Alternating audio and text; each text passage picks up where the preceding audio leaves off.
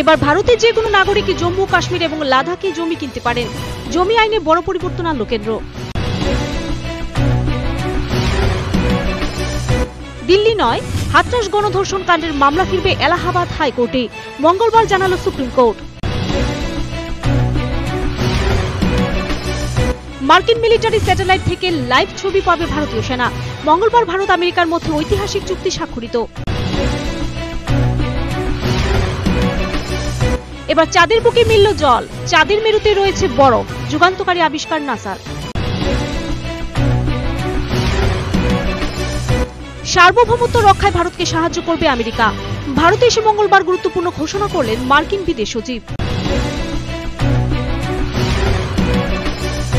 Corona ভাইরাসে আক্রান্ত হলেন কেন্দ্রীয় মন্ত্রী তথা রিপাবলিকান পার্টি অফ ইন্ডিয়ার সভাপতি রামদাস অটওয়ালে। রাজ্যে প্রধান হাসপাতালে জীবিতে মুখ থুবড়ে পড়েছে বিনামূল্যে ডায়ালিসিস পরিষেবা। দিশেহারা রোগী ও তাদের পরিবার পরিজনেরা।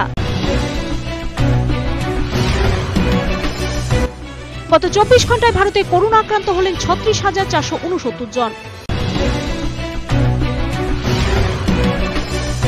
অমরপুর জুলাইবাড়ি কুয়াইপাং নগরামবাড়ি এলাকায় মঙ্গলবার উদ্ধার হলো এক সদ্যজাতের মৃতদেহ।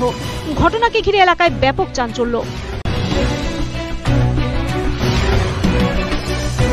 ভারতীয় মৎস্যজীবীদের একটি দলের উপরে হামলা চালানোর অভিযোগ উঠল শ্রীলঙ্কার নৌসেনার বিরুদ্ধে।